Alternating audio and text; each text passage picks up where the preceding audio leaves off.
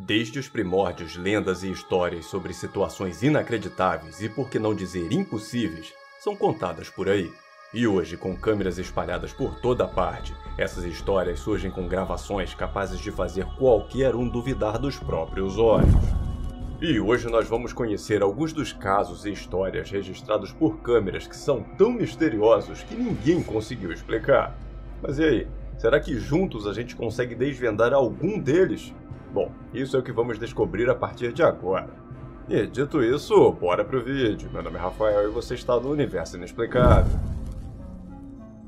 Quando o assunto são seres de outros planetas, a verdade é que todo mundo, quem acredita e até quem não acredita, morre de medo de algum dia ser abduzido. E as histórias sobre casos de abdução que existem por aí só ajudam a gente a ter mais medo ainda.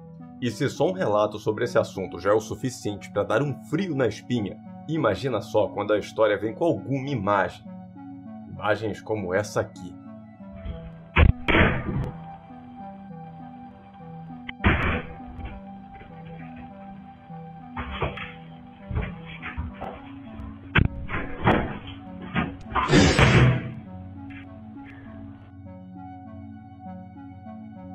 O vídeo gravado pela câmera de segurança dessa casa, segundo a história que vem sendo divulgada pela moradora do local, que é também a mulher que vemos no vídeo, mostraria o momento em que ela teria sido abduzida. E ela conta ter passado a acreditar nisso após ver a filmagem onde ela desaparece depois de um forte clarão, reaparecendo alguns instantes depois, muito confusa e sem se lembrar de nada do que teria acontecido.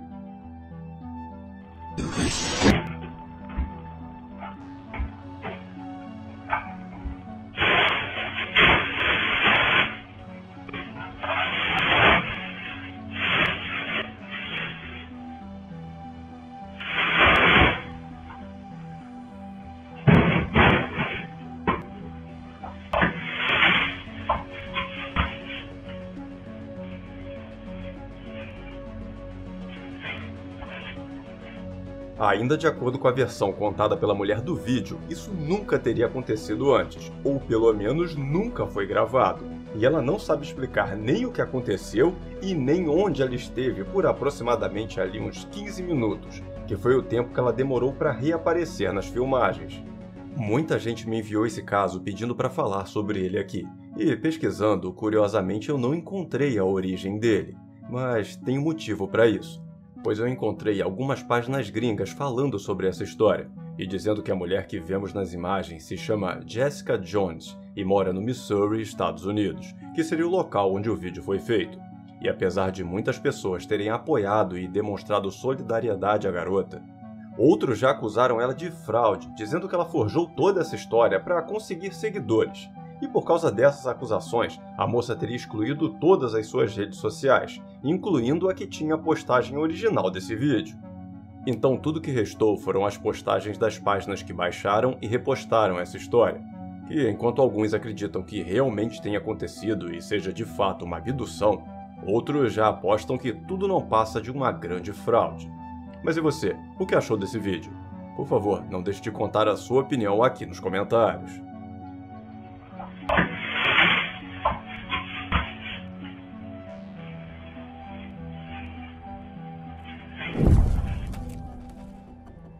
Sejam cães ou gatos, é muito comum as pessoas terem em casa animais de estimação. E não só esses que eu mencionei, mas outros considerados mais exóticos também, como porcos, ratos, cobras e até vacas. Agora, se tem um animal que não é nada comum de se ver no quintal de uma casa, esse animal é um leão. E é até por isso mesmo que a filmagem que nós vamos ver agora está chamando tanta atenção por aí. Dá uma olhada só. As you can see, to make some coffee. That's all. Esse vídeo está sendo compartilhado por aí, dizendo mostrar o quintal de um homem que tem um leão de estimação. Isso lá nos Estados Unidos, bem próximo da fronteira com o México. E ainda segundo a história, foi o próprio homem que fez e divulgou essa gravação do seu amiguinho aí, que ele teria trazido da África quando ainda era só um filhote. O que eu nem preciso dizer que é de um mau caratismo absurdo e merece uma boa cadeia, não é verdade? Quer dizer, mereceria se essa história fosse verdade. Mas, tanto aquela investigada nesse caso, eu acabei descobrindo que não é bem por aí, não.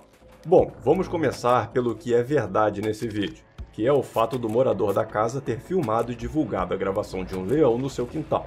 E pronto, o resto todo é um baita caô inventado por alguém que cortou o vídeo original e compartilhou essa história do sequestro do filhote de leão. Porque na verdade, esse é um leão selvagem, e essa casa fica dentro de uma reserva na África do Sul. E esse homem que fez a filmagem é um dos funcionários dessa reserva da vida selvagem acostumado a ver e filmar os animais daquela região passando pelo seu quintal. E o vídeo original completo deixa isso bem claro. So, my kitchen is growling at me this morning. As you can see, to make some coffee, that's all. But we've got um,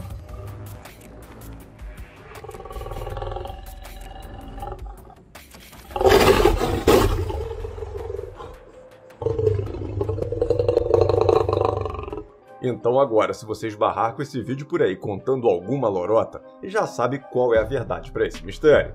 E bom, pelo menos esse caso já está solucionado, mas ainda tem muita coisa sem resposta para a gente ver hoje.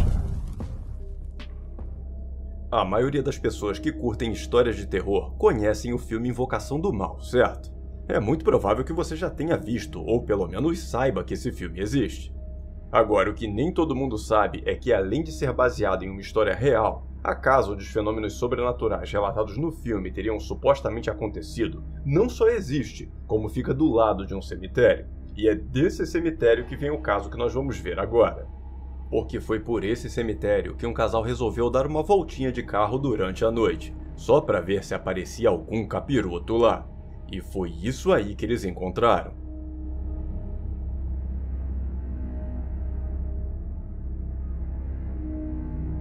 Como o veículo deles possui aquele sensor de movimento que detecta tudo que está ao redor do carro, mesmo eles não vendo nada do lado de fora, na tela do sensor mostrava algumas pessoas se aproximando do carro. E a coisa fica ainda mais medonha nesse momento.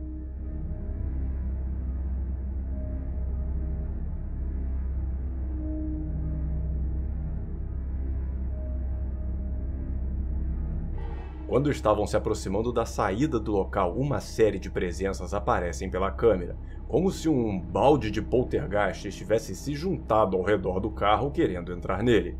Uma situação completamente insana, ainda mais se levarmos em conta que o casal bate o pé dizendo que não havia ninguém naquele lugar, ou pelo menos ninguém visível aos olhos deles.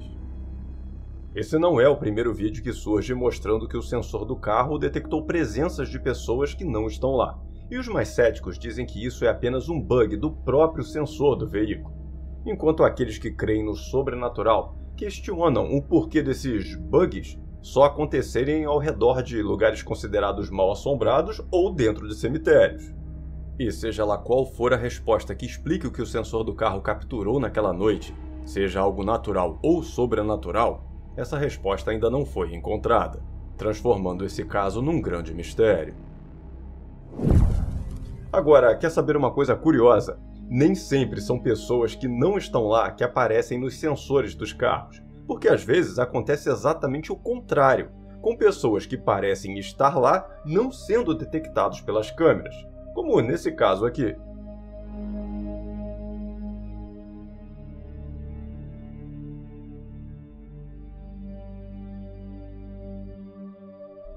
A pessoa que fez essa filmagem relatou que estava parado na rua de casa quando percebeu que aquelas duas mulheres que estavam descendo a rua bem atrás do seu carro simplesmente não apareciam na câmera de ré do veículo, como se fosse algo que só os seus olhos fossem capazes de ver.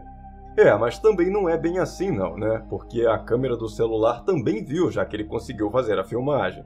O vídeo foi feito na Índia e o autor da gravação disse que além das mulheres terem desaparecido antes de passar pelo carro, ele ainda desconfia que elas sejam os fantasmas de duas mulheres que teriam falecido recentemente naquela rua.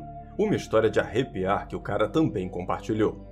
Ele conta que naquela rua moravam duas senhorinhas que eram super amigas, que todas as tardes ficavam tricotando umas fofocas ali por cima do muro, já que elas moravam uma do lado da outra. E após uma delas adoecer e vir a falecer, a outra não demorou muito para ir também, com apenas alguns meses de diferença. E apesar de ser uma história triste, que a gente não tem como saber a verdade por trás da filmagem, muita gente que conhecia as mulheres depois que assistiu esse vídeo se confortou de certa forma com a ideia delas estarem reunidas no pós-vida, fazendo uma coisa que elas faziam todos os domingos, que era saírem juntas para irem à feira. O que, por sinal, é mais um detalhe interessante dessa história, pois a filmagem teria sido feita em um domingo na direção em que elas pegavam para fazer as suas compras. E antes de partir para o nosso próximo caso de hoje, que mostra o misterioso filhote de uma criatura lendária que teria sido encontrado numa praia, eu gostaria de pedir rapidamente a você que não se esqueça de deixar aquele like maroto aqui embaixo e compartilhar esse vídeo com seus amigos para todo mundo ficar conhecendo essas filmagens. E se você caiu de paraquedas aqui no canal e está gostando, eu te convido a se inscrever e ativar as notificações para ficar sabendo sempre que sair um vídeo novo por aqui. E se você quiser contribuir ainda mais com o canal, você pode deixar aquele valeu demais aqui embaixo ou se tornar membro nesse botão que está aqui embaixo também escrito Seja Membros e ter acesso a vários benefícios aqui no canal, beleza? Muito obrigado e vamos em frente! Quando pensam em praias, a maioria das pessoas logo lembra de bons momentos para curtir em família ou até sozinhas mesmo. Mas existe também quem imagine logo o tipo de coisa misteriosa ou estranha que pode encontrar em um desses lugares. Coisas como o filhote de uma criatura lendária, por exemplo. Ou pelo menos é o que os autores dessa imagem acreditam ter encontrado. Essa pequena e intrigante criatura, segundo a história, foi encontrada nas areias de uma praia escocesa e por ninguém no local fazer ideia de que animal seria esse, e principalmente por causa da sua aparência, foi impossível não associar esse pequeno ao famoso monstro do lago Ness, que é uma das lendas sobre criaturas marinhas mais famosas do mundo. O monstro do lago Ness, ou Ness para os mais íntimos, é uma criatura mitológica que supostamente vive no lago Ness, lá na Escócia e essa lenda ganhou fama global lá na década de 1930, especialmente após a publicação dessa foto aqui, que acabou virando notícia no mundo inteiro. Nessie é descrita como um animal semelhante ao plesiosauro, mas ao contrário do peixão jurássico lá que habitou a Terra milhões de anos atrás, a existência do monstro do Lago Ness nunca foi comprovada, apesar de várias investigações. E olha, como investigaram aquele lugar. Mas mesmo assim, sem nenhuma comprovação científica, a lenda persiste, atraindo turistas e mantendo seu status como um ícone das criaturas lendárias, que agora também ganhou um filhote para se juntar à sua lenda. E eu nem vou perguntar se você conhece essa lenda, porque é muito provável que sim. Mas o que você achou do que foi encontrado na praia? Que animal seria esse? Ou será que existe alguma verdade por trás da velha lenda no final das contas?